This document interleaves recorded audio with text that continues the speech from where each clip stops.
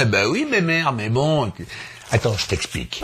Tu connais Caroline Haas? Alors Caroline Haas, pour ceux qui ne la connaissent pas, c'est une militante féministe. Elle a déclaré sur Internet il y a quelque temps que un homme sur deux ou trois était un agresseur vis-à-vis des femmes à propos du harcèlement. Voilà. Alors du coup, Évidemment, elle a déclenché un tollé euh, sur les réseaux sociaux, elle s'est fait copieusement euh, insulter, et là, elle annonce dans la presse euh, que ça y est, non, bon, elle va quitter les réseaux sociaux parce que c'est plus possible, les gens sont trop méchants. Bah oui, mais à quoi elle s'attendait, Caroline Haas Après sa déclaration qu'on lui offre des fleurs?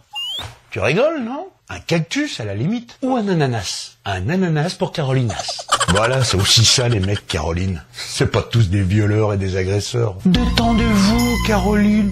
Cool. On n'est pas tous des monstres. Et un ananas pour Carolinas, c'est bien trouvé, hein bah, bah, si. Ananas, Carolina. Oula. vous êtes chiantes les filles. Hein. vous êtes chiantes. Hein.